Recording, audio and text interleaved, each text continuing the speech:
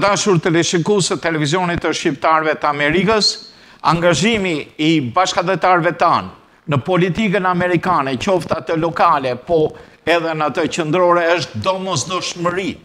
Është domosdoshmëri për diasporën shqiptare të Amerikës në këtë moment që jemi.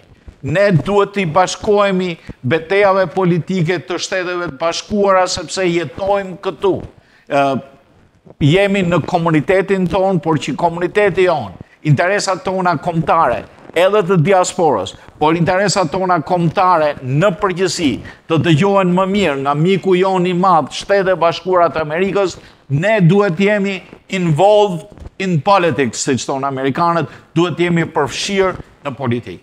Dhe pikërisht sot kam përfituar nga rasti që para disa ditësh grupimi i republikanëve konservator zhjullojnë një takim me dy kandidat për prokuror njëri dhe tjetëri për administratën e njëri në Oakland County, njëri në Macomb County, që u njoha me këtë grupim. është mirë që ne, media shqiptaro-amerikane, të paraqes angazhimin e shqiptaro-amerikanve në jetën politika amerikane. Kam sot dy tëftuar, kam sherifin e Oakland County, zotin Mark Stanaj, kam edhe nonin Gojqaj, aktivist, por edhe punon në industrin e shqitjes së makinave. Me gjitha dhe, sot kemi ardhë për diska tjetër kemi ardhur naturisht edhe për angazhimin tuaj profesional, por kemi ardhur për të folur për situatën politike në shtetet e bashkuara dhe për nevojen për angazhim të shqiptaro-amerikanve. Naturisht, në këtë mes, unë kam një good news, si që tonë Amerikanët, Zoti Mark do të vej kandidaturën e ti për presintin e Oakland County. Për më tepër, le të japim fjallën si më i mërshuar Markut. Mark është kënajsi që kam në studio, por duhet të themi diçka pashka dhetarve. Angazhimi juaj në këtë grupim të republikanve konservatorë është mjaft pozitiv, është mjaft i mirë pridur, por naturisht edhe angazhimi juaj drejt për drejt. Ju keni gati 20 e sa vjetë më thatë që jeni marë me law enforcement, jeni me shërbim në Oakland County, por kërkoni të bëni diçka tjetër, kërkoni të angazhojeni to be involved in politics. And uh, we're starting with you in English because you have a long time that you have been born here and you have a 26 years. You told me that you are in law enforcement, that is, that you know. Correct. That is correct. I was born here. I've been with the Sheriff's Department for 26 years. I've served and protected the citizens of Oakland County. Um, but uh, during that time, especially in the last few years, uh, I've been just more involved in politics, uh, more so in the background, uh, just paying attention and um, and reading news articles and sharing information with my circle of friends, with my family. And I just, uh, you know, as Albanians, we are, um, we are very conservative. Uh, we are very family oriented. We're very hardworking. We don't look for, and I think I could speak for uh, the majority of Albanians when I say this, we don't look for handouts. We're some of the most um, honest, hardworking people uh, that I know of. Uh, having said that, uh, my, my values are very conservative. Um, I, I, I, believe in God, I, I, believe in family, I believe in limited government, in lower taxes, in, in less intrusion uh, from the government in our daily lives. And uh, because of those ideals, um, I, I consider myself a conservative Republican. We started an organization uh, Mark Jokai is, uh, is the one that actually um, deserves most of the credit for starting the organization. Uh, the Albanian American Conservative Republican uh, organization.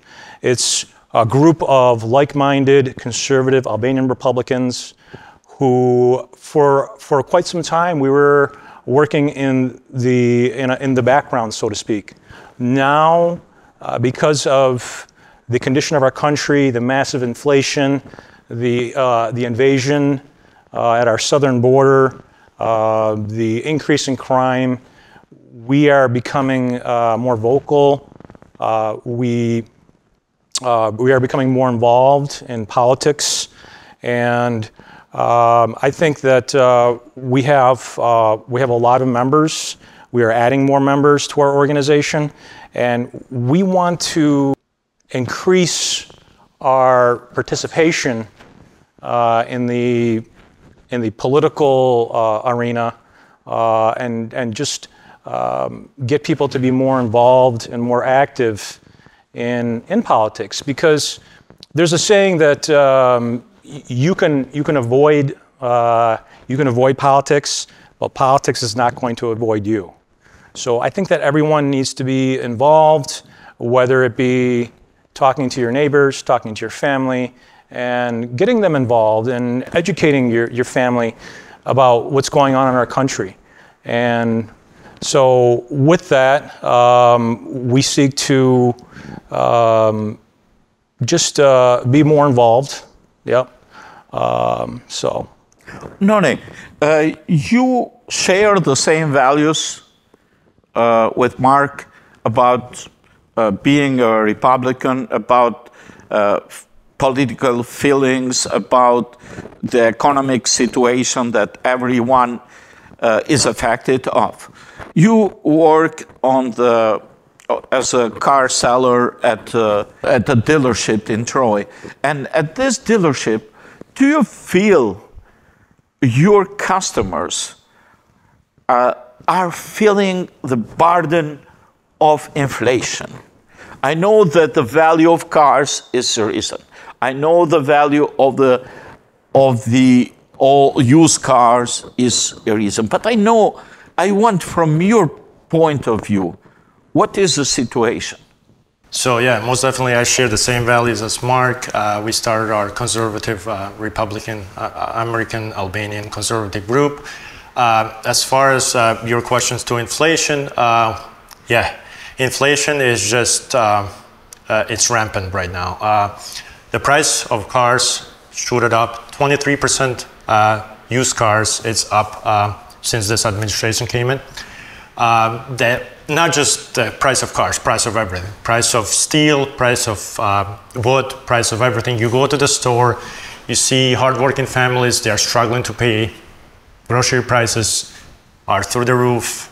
Uh, this administration, for what they are doing, they're not helping at all. So um, uh, life in general got much harder. You got people working two, three jobs to be able to afford their groceries and paying rent. Rent went up Every year it's going up and everything is going up right now as far as price goes. Uh, we haven't seen anything that this administration that did to help uh, working families like we are.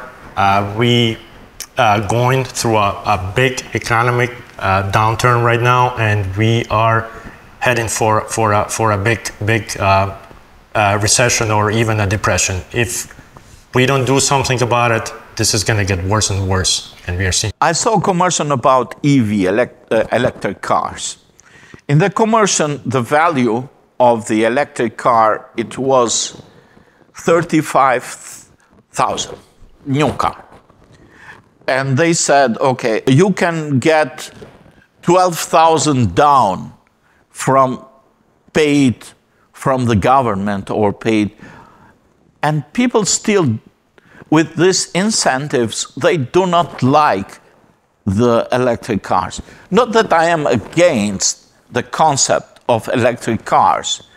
Uh, does the police have electric cars or not? Not that I'm aware of. not that I'm aware of. That's the Thank reason. God. That's the reason. Now, I'm not against having clear air and so on, but you have to, you have to be uh, living in the economy, living with a capitalistic point of view, if don't force the client to buy a vehicle that he doesn't like, that doesn't have the options to power it up, doesn't have the charging Uh, so I just I showed more question because I am interested on. Absolutely. Uh, so when it comes to electric cars, uh, uh, what we've seen right now, it's a trend that all of these car manufacturers, they are trying to go that way because they are being forced by the government.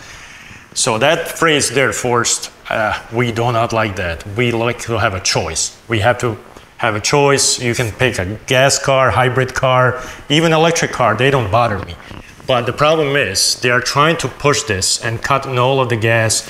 So right now, Ford, they just came with an article. They're losing $100,000 in production per car on electric cars. So they're cutting down. Toyota said, we are not going to do it. Uh, they've seen it the other way. We're going to do hybrid. We're going to do still gas, but not electric. I work at a Subaru store for Suburban. We have our EV, car. That's one of them. It's called Subaru Solterra. We haven't sold, we barely sold few of them. They are not reliable. Um, the charging, you know, you, you can get about 250, 260 miles, but do you want to keep charging? If you take a long trip, you take to Florida, you're going to be stuck charging your car so many times. So I'm not against electric cars. I think they can do it, as I said, but we should have a choice. So, talking about the uh, establishment policies towards law enforcement, I'm talking with you, uh, Mark not long time ago, and still we're hearing again, defund the police. What is this policy? What is this stupid idea? The reality showed the need for, for police. Even those congressmen of congresswomen who were uh, doing fan for def, uh, defund police. After that, they need security and they pay a lot more money for their own security. What is this? I want. What is the behavior? What is the feelings of you uh, co-workers of the other deputies there, and about this idea to defund the police? So myself and uh, many of my coworkers, uh, we, we think it's a, um, it's a very dangerous uh, policy. They've enacted uh, cuts to police forces. I know in Austin, Texas, uh, there's other agencies. And one of the, one of the common themes with the defund the police, uh, it, from what I've noticed, is that it's coming from the Democrat Party. I, I, don't know why. I can only speculate as to why they want to defund the police. It's extremely dangerous. It endangers not only the citizenry, uh, the business owners, but it also puts law enforcement in danger because now you have less resources, you have less officers to patrol a certain beat or patrol a certain area. Uh, it causes uh, morale to go down, uh, it causes uh, fatigue because now you have officers that are working longer hours, uh, you have officers that are being overworked. Uh, so the um, the defund the police movement, it's, uh, it, it, was horrible. I, I hope that, that people remember what the, these politicians did when it comes to voting time to go and vote.